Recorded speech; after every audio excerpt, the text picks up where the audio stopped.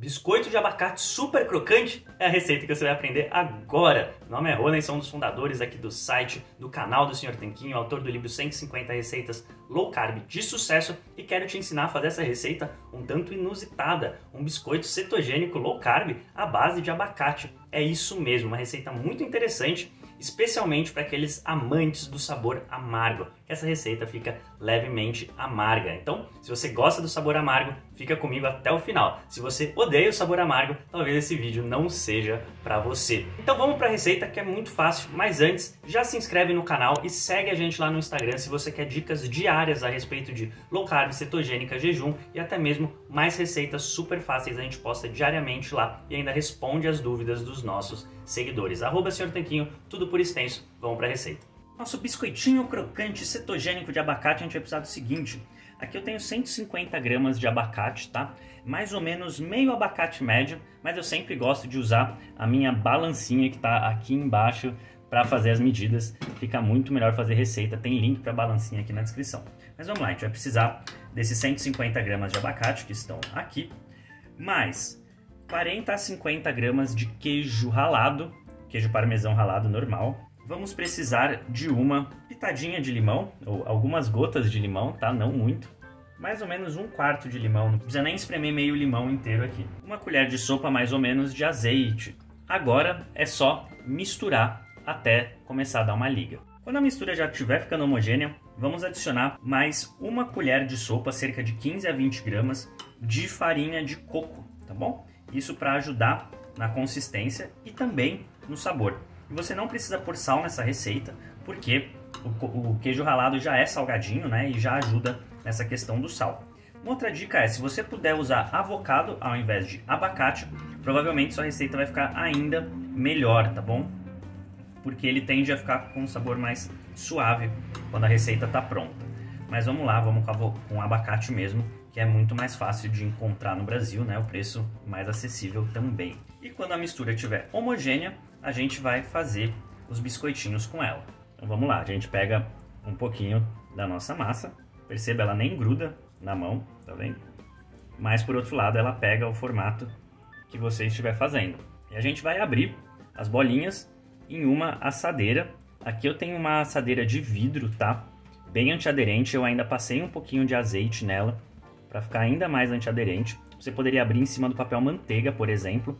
Nesse caso, recomendo que você também dê uma leve untada com azeite no seu papel manteiga, tá? E abra o máximo possível. Quanto mais fininho ficar o seu biscoito, mais crocante ele ficará. E a gente vai fazer isso com o restante inteiro da massa. Repare como rende bastante a massa, né? Fiz quatro biscoitos, sendo dois bem grandes, dois intermediários e ainda sobrou praticamente metade da massa e a gente vai fazer mais biscoitinhos para aproveitar a massa inteira. E aí você pode temperar os seus biscoitos. Aqui eu separei pimenta calabresa, colocar um pouquinho de pimenta calabresa em cima de uma parte deles. Isso vai muito de gosto, né? Você poderia utilizar outro tempero também, fica à vontade. Esse aqui eu acho que ajuda a enfeitar também.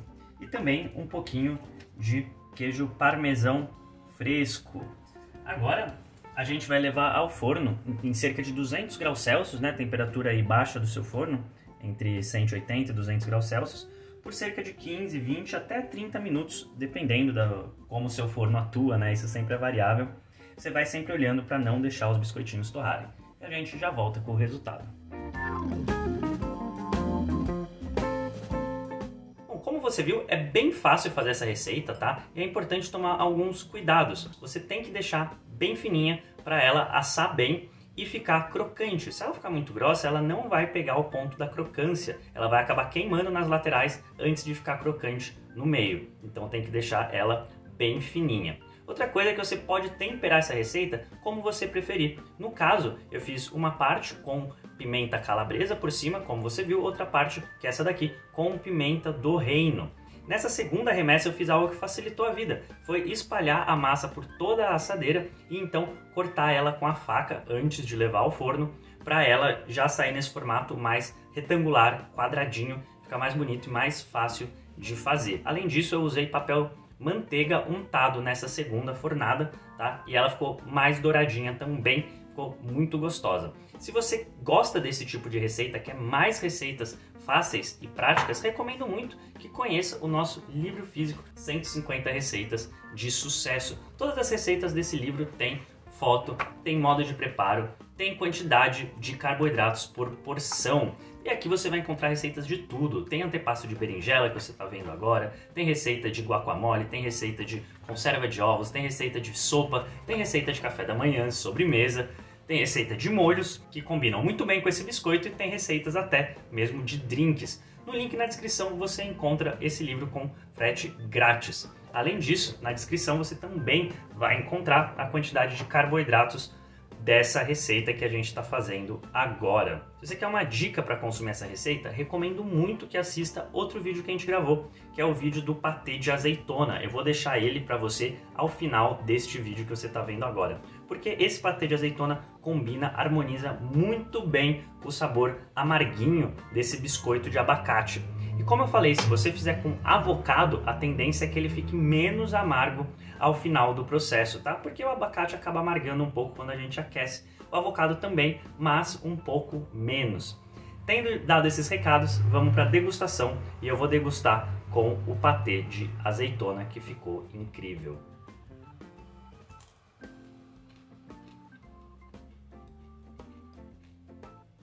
A combinação desses dois fica simplesmente sensacional. Recomendo muito que faça as duas receitas. Para você não perder o patê de azeitona, eu deixei ele separado para você aqui do lado. Ali tem uma foto minha e do Guilherme no canto da tela para você se inscrever no canal se ainda não é inscrito ou inscrita. A gente solta os vídeos novos todas as semanas e para você não perder nenhum, é só se inscrever no botão vermelho ou na foto minha e do Guilherme. A gente se fala no próximo deles. Um forte abraço.